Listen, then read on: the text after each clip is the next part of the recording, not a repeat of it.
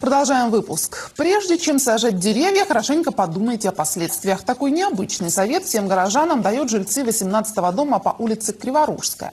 Полвека назад сторожилы их дома посадили несколько тополей, а сегодня, как уверяют представители МЧС, огромные деревья создали аварийную ситуацию. При малейшем ветре ветки обламываются, падают на провода и газовую трубу, которая проходит под деревьями, а корни начинают рушить отмостку здания.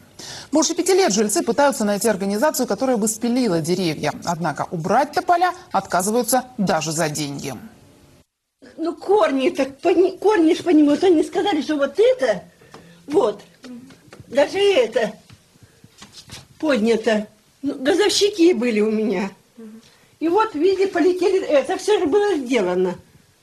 Тамара Чуб без слез уже не может рассказывать, сколько бед ей натворил тополь. Сюда пенсионерка переехала 7 лет назад. Говорит, даже не подозревала, что корни дерева могут доставить столько хлопот.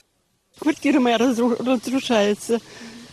Все в корнях. Непосредственно близость э, расположенной, расположенной деревья корневая система э, портит отмостку и э, строительные конструкции, скажем, здания так.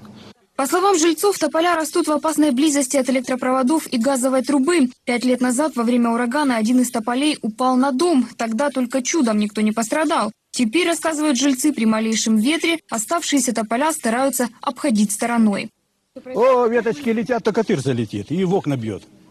Только успеваю убирать. В 58 году эти дома построили. И им столько же лет. Садили военные, то, чтобы красиво было. Вот посадили, вот они выросли за 50 лет.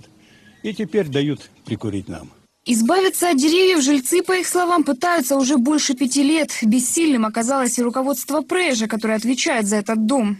Мы обращались в течение последних пяти лет во все инстанции, в горисполком и в райисполком, прежа номер три, наше домоуправление 15, но никто не смог нам помочь. Почему? Как они мотивировали Мотивировали тем, что дерево расположено в очень э, сложных условиях. Зеленхоз не взялся за выполнение этих работ, очевидно, наверное, все-таки потому, что сложность в этом есть. Специализированные частные организации, скажем, частники, которые занимаются этими вопросами, приехав сюда, посмотрев на это все, они практически отказываются. Даже за деньги? Даже за деньги, да. Сегодня территорию вокруг дома огородили, отпилить деревья приехали представители МЧС и альпинисты аварийно-спасательного подразделения «Кобра». Обратить внимание аварийных служб на их проблемы помогли депутаты, говорят жильцы.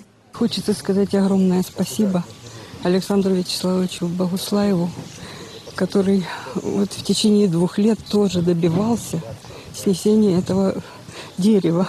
Как отмечают специалисты, спиливать тополя они будут частями несколько дней. По словам представителя МЧС, во избежание несчастного случая во время работ здесь будет дежурить аварийная машина. Контроль за завершением всех работ взял на себя депутат Горсовета Александр Богуслаев.